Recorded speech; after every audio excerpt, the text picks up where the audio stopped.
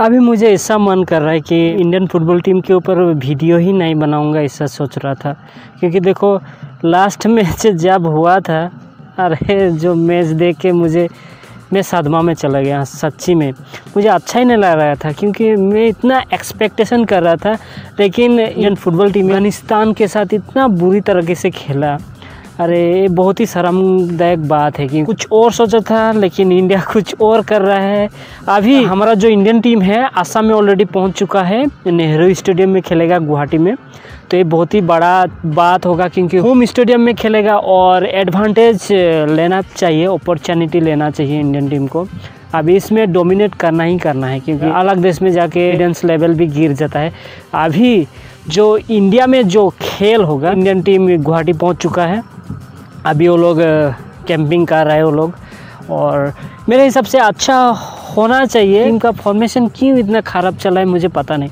F C Asian cup से पहले Indian team का जो मिशन था वो बहुत ही अच्छा था नेक्स्ट लेवल था। सेप कप में भी इतना अच्छा से खेला इंडिया आ, बहुत सारा ऐसे टूर्नामेंट में बहुत ही अच्छा परफॉर्मेंस करे। लेकिन जैसे बात आता है एफ़ सी एशियन कप उसके बाद वर्ल्ड कप क्वालिफायर बड़े बड़े टीम के साथ इंडिया अच्छा से परफॉर्मेंस कर पा रहा है। तो इसके ऊपर थोड़ा ध्यान देना चाहिए। मैं कुछ बातें नोटिस किया इंडियन टीम यदि जीतना चाहता है, इस मैच में तो लोग पॉइंट के ऊपर ध्यान देना चाहिए। तो मैं बात करना चाहता हूँ सॉलिड डिफेंस हमारा जो डिफेंस है, वो बहुत ही सॉलिड होना चाहिए। अच्छा से डिफेंसिव करना पड़ेगा।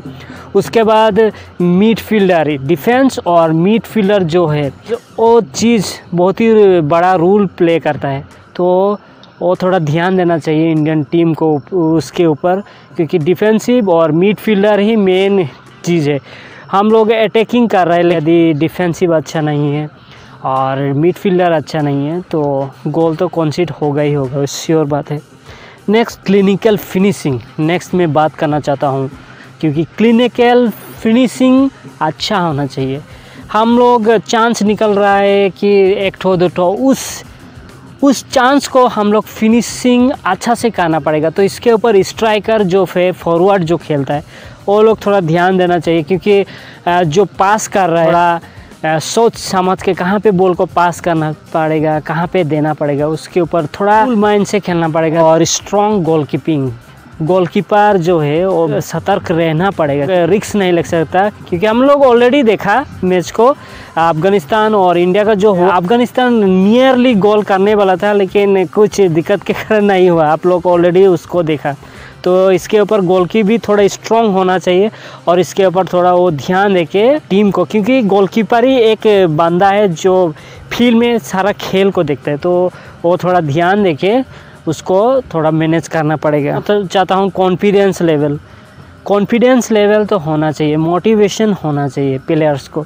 यदि प्लेयर्स मोटिवेशन नहीं है कॉन्फिडेंस लेवल नहीं है तो आ, कुछ भी नहीं कर सकता क्योंकि टीम अपना जो फिटनेस है उसके ऊपर थोड़ा ध्यान देना चाहिए क्योंकि यदि फिटनेस अच्छा नहीं रहेगा तो परफॉर्मेंस भी बहुत बुरा हो जाएगा।